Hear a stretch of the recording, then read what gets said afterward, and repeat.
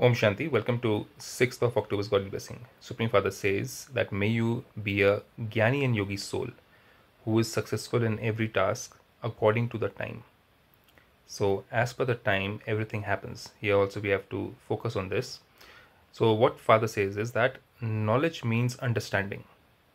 A sensible soul is one who carries out his tasks with understanding at the right time. And success achieve success in them. Or we have a choice that we get delayed in taking the right step at the right time. And then we blame everything else. We blame the government, we blame the environment, we blame our neighbors, we blame our family, we blame ourselves when we don't achieve success. So, time is very critical. The sign of a sensible, knowledgeable person is that he is never deceived. And the sign of a yogi soul is that he has a clean and clear intellect of what we exactly want. We don't leave it up to the drama, we don't leave it up to the time, we don't leave it up to people to decide it. We decide for ourselves how and when we want to do it.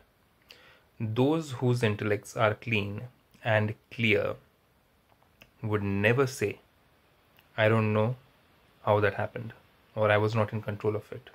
That's what it means. Knowledgeable and yogi souls cannot say such words they always know that they're creating thoughts and those thoughts have will have a good or a bad impact and then they are ready to face it. They use knowledge and yoga in every act they perform. Om shanti